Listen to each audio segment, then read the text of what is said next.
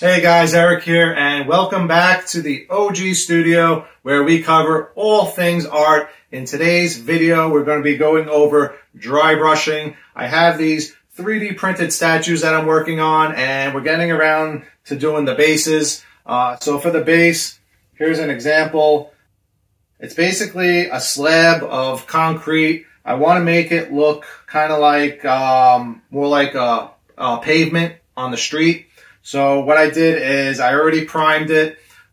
I went over it with a, a darker gray color, kind of to give it like that pavement color.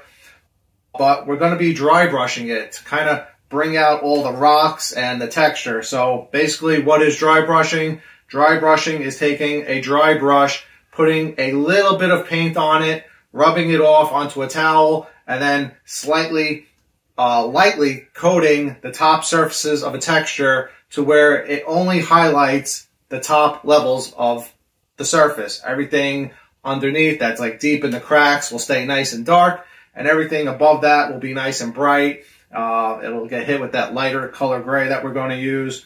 Uh, after that, I'm working on these Ninja Turtles that I 3D printed. If you want to see more on that, please subscribe to the channel. I have a whole series of videos on how I'm painting those, how I'm printing them, and basically everything involved with that project. But uh, in today's video, like I said, yeah, we're going to be just doing dry brushing. I'm going to do a little dry brushing tutorial. Uh, so yeah, we have this slab of concrete that we want to make it look like pavement. Like I said, I already went over and hit it with a darker gray with the airbrush gun. So it's nice and one solid color gray. We're going to take uh, a lighter color gray. I don't want this to be too dramatic. I just want to make the rocks and uh, the textures pop a little bit more. So we're going to hit it with just a, a slightly lighter gray color. And then also at the end, we're going to do a mud effect uh, because the turtles are all very muddy and beat up. It's more of like a darker theme where they're like uh, just been through, you know, hell, been through war. Uh, and that's what I want to bring off onto the base to make the base look all like it's a, like a basically like a battle zone. All right, so yeah, with dry brushing, uh, you want to grab your brush. For this case, I'm using this big. Uh, it's almost it looks like a giant makeup brush. It's very soft on the bristles. It's a cheap brush. I recommend when you're doing dry brushing, grab a, a cheap set of brushes. I'll have links in the description to where you can pick up brushes off of Amazon if you're interested. Uh, but yeah, because you're doing so, so much uh, back and forth and you're really going hard on the bristles, you don't want to use a good brush for this. Uh, you don't, you know, save and protect your good brushes for, you know, when you're doing finer details and, you know, working on, you know, something that uh, needs that attention. But for when we're going in and just hitting something very hard, pick up a cheap brush, save the money. It doesn't make a difference. Actually, the more beat up the brush is, the, the better the effect. All right, so let's go in and take a close look and see what we got. Okay, so we have four uh, of these bases to work on. Uh, I took my dark gray color and I added a little bit of white to it to make a lighter gray, and that's what we're going to use to brush on the uh, brush effect to bring out the highlights of each base. Uh, as far as the brush goes, it doesn't really matter what type of brush you use. So looking at our base, you can see we have a very fine little texture details across the top. Uh, the bottom doesn't matter so much because the bottom will be covered by a nameplate and we have very fine textures going across the side that we're going to highlight. So we'll get some of the paint on the tip of our brush and then the idea is that you want to wipe it off onto a paper towel until you barely see any more paint on the brush uh, the more paint that you see on the paper towel, the more that's going to end up on what you're painting. So you can go for different effects if you want to put a little bit more on at first, or you can brush on very little.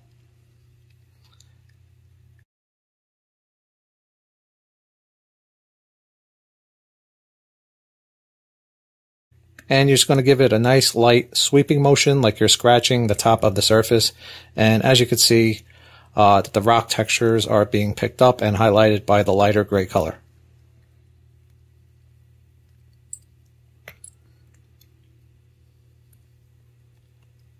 And you're just going to go around and pull the paint in different directions and work it around, picking up all the top levels of the surface to highlight them.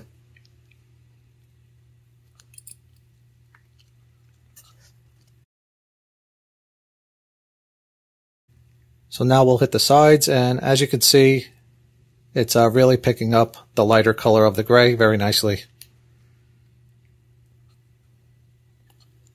So we'll just go and work our way around the base and get it all done.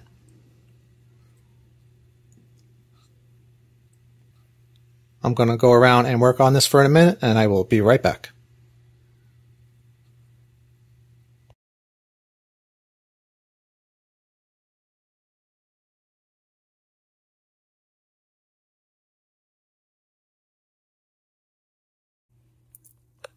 Okay, so this is looking good and I'm happy with the way it's turning out. Uh, if you're working on your project and you're not happy with the look, just remember you can always go back to the original darker color and use the same effect to where you brush it back on over the top layer, uh, just to get rid of any areas that maybe you thought you put on too much or that you're just not liking the way it looks. So you would be basically erasing what you've already done. Okay, so let's move on to the next base. Uh, with this base, there's not a ton of texture on the top, but there is a ton of texture uh, along the sides. But the top does have a lot of rocks on it, and I really want to hit those rocks to make them pop. So we'll be doing the same thing with a uh, dry brush effect along the top and along the sides. Same thing, get your brush, make sure that it's still dry, uh, and just get a little bit of paint on the tip and wipe it off onto a paper towel to remove most of the paint and then you can begin your sweeping motion across uh, the project you're working on to bring out the highlights. So in this case, we're going to hit the, the large rocks first.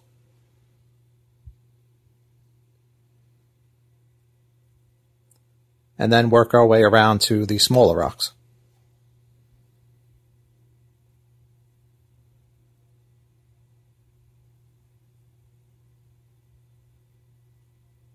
I'm also lightly brushing the top of the base area where there's not so much texture, just to give it a, a more unified look.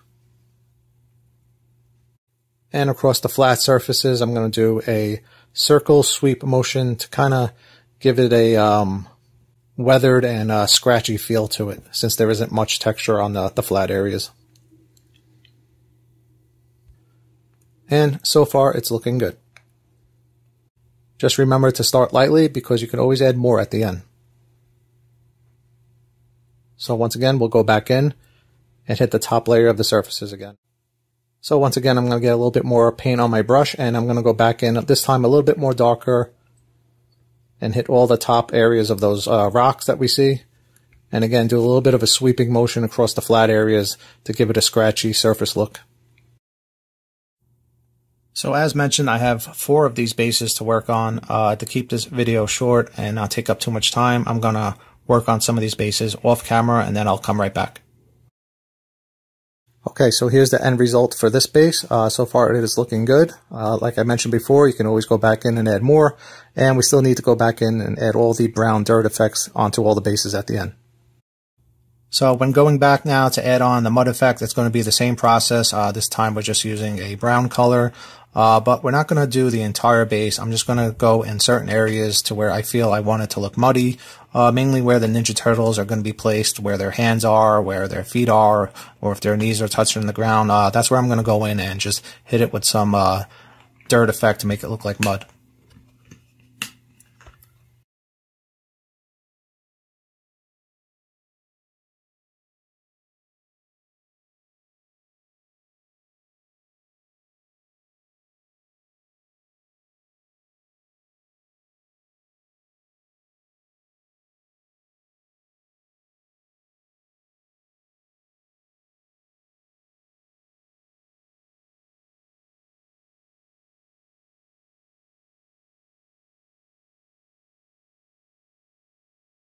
And here's a quick look at all four bases with uh, the dry brushing effect of the lighter gray to bring out the rocks, as well as the dry brushing effect with the brown color to bring out uh, the look of it looking all muddy.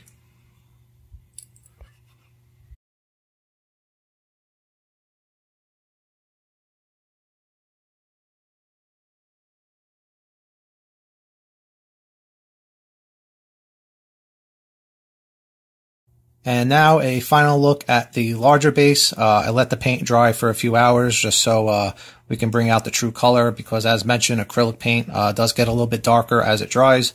Uh, so we're starting to see what it's actually going to look like once this dries completely.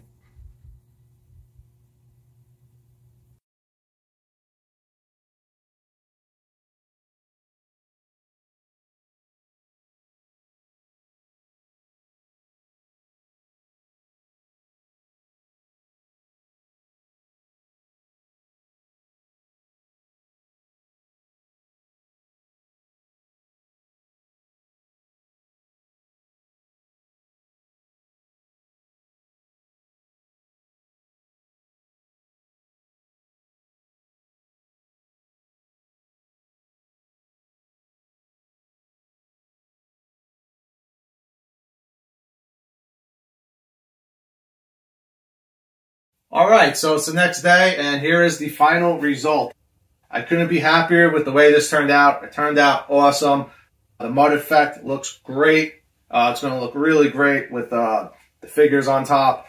So, as mentioned, the mud effect, it did dry darker. That's why I recommended don't like freak out when you first put it on and it looks too bright because with acrylic paints, they dry darker the next day, even over the next few days. It just gets a little bit darker especially once you hit it with a clear coat.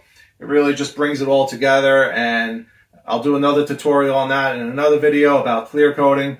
But uh, yeah, for now, the mud effect looks great. The uh, the gray dry brushing looks great. Really makes all the rocks pop. I did take the original light gray color that I originally used for dry brushing and I did go over the mud brown tones just a little bit because I felt like they were a little bit too bright.